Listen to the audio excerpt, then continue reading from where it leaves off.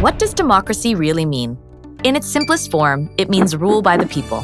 But there are also several guiding principles that act as the foundation of a democracy. Fundamental freedoms.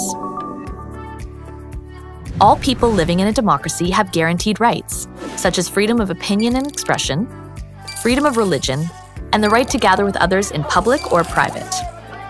In Canada, our fundamental freedoms are protected by the Canadian Charter of Rights and Freedoms, part of Canada's Constitution. The Charter also guarantees equality rights.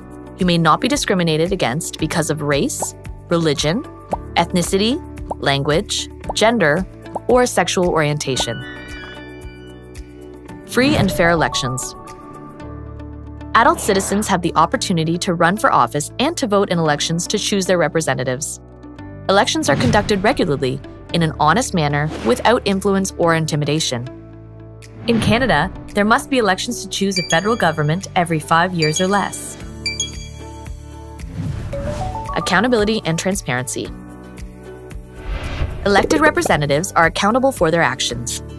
They must perform their duties according to the wishes of those they represent, not for themselves or other interests.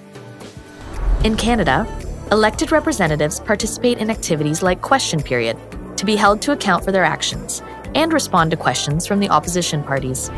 The press also holds our government to account and aims to keep citizens informed. The rule of law. Laws are enforced equally, fairly, and consistently, and no one is above the law. This means that everyone, including government officials, must obey the law. It also means that governments cannot punish people unless they have broken the law. All Canadians have a responsibility to respect the laws of the land, even if they disagree with them. And last, but certainly not least, citizen participation. Democracy demands citizen involvement.